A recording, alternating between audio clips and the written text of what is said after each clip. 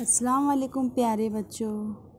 अब हम परिंदों की दुनिया इस सबक को समझ हमारे मुल्क में छोटे और बड़े परिंदे पाए जाते हैं, जो रंग बिरंगे होते हैं और किसी परिंदों की आवाज़ तो बहुत सुरीली होती है और कुछ परिंदों की आवाज़ भोंडी होती है।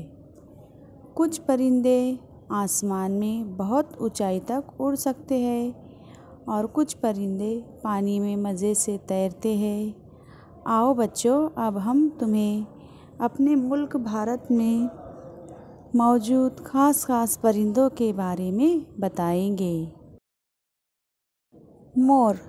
मोर हमारा कौमी परिंदा है। आपने मोर को देखा है कि मोर बहुत खूबसूरत परिंदा है।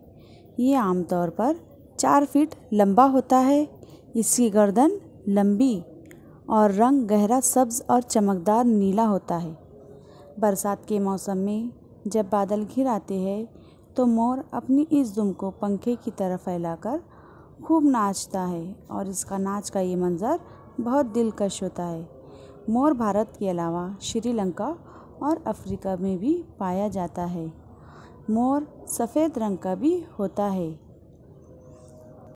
तोता और मैना ये दोनों को लोग बहुत शौक़ से पालते हैं और ये दोनों रटे हुए जुमले ये इतनी सफ़ाई से बोलते हैं कि सामने वाले को हैरत होती है। तोता ज़्यादातर हरे रंग का होता है, इसकी चोच मुड़ी हुई और लाल होती है।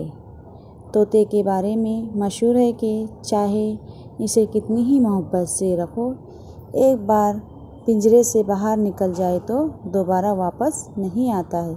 इसलिए बेमुरवा शख्स को तोता चश्म कहते हैं। हमारी ज़बान का मुहावरा तोते की तरह आँखें फेर लेना भी इसी से बना हुआ है। मैना का रंग गहरा कत्थाई और इसकी चोच पीली होती है। किसी किसी इलाके में काले रंग की मैना भी पाई जाती है। कबूतर को अमन की निशानी समझा जाता है। कबूतर कई रंग और नस्ल के होते हैं। ये इन परिंदों में से है जो झुंड बनाकर रहते हैं।